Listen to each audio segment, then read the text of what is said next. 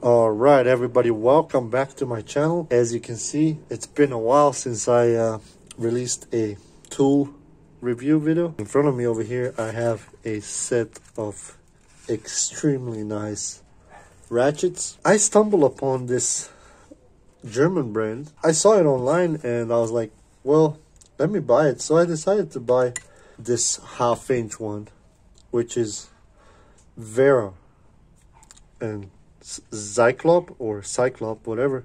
So I decided I went and I bought this half inch. And once I got it, I could not believe. This thing is extremely heavy. This is heavy duty stuff. And uh, it works so, so good. I after that, I was like, I gotta get the other stuff. So I went and I got the 3 eighths as well, 3 eighths drive. All of them have this push to release socket thing. And then I got the quarter inch as well. I had to have it. Same thing, push to release.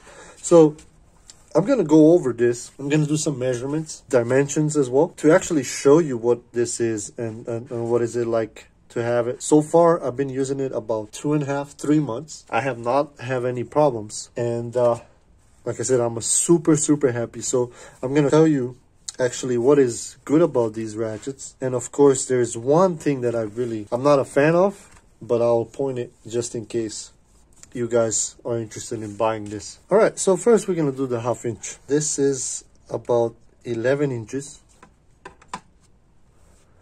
pretty heavy. Pittsburgh equivalent to that. All right, so this is a Pittsburgh, pretty heavy as well. So let's do now 3 eighths. The lengthwise, it's about eight and a half inches. It's almost a pound. And equivalent to that, this is the equivalent of a Pittsburgh. And as you can see, it's a little bit longer. So next is quarter inch, the length five and a half inches. Pittsburgh, which is right here, it's almost identical. But the advantage of Pittsburgh is that it's longer. The main difference between Pittsburgh and Wera is that the Wera is way more sturdier. It's it's more beefier, right? Also, the Wera, if you look at the head, it's way smaller, way thinner, so it will fit in a tight spots. Look at that half inch. That's massive right there. And let's talk about the negative thing about this. The problem for me is that this little thing here, the problem is this thing is, I'm afraid it's gonna snap you know, I'm afraid that over time, especially in this one, I'm afraid it's gonna snap and this one as well. So yeah, that's uh, pretty much what I wanted to show you guys with these.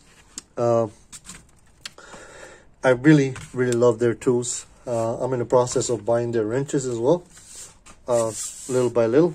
They have a couple of sets. They have a metric and standard. Uh, I'm really also into getting the sockets, but the problem with sockets, they only have a six point so far. But yeah, maybe in, in some near future, they will have more options. But yeah, check them out. I'm not sponsored by them, but they're, this, these tools are great. I mean, they're kind of a little bit on the high side, expensive, but definitely worth it. I love this, this design. Uh, it's it's heavy. You feel it. You definitely feel it.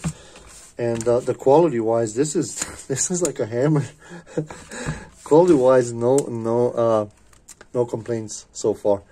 Uh as well as they're they're like i said every single tool they have it looks really really good quality. Anyway of course uh, if you're new consider subscribing like and share and uh i'll see you guys next time.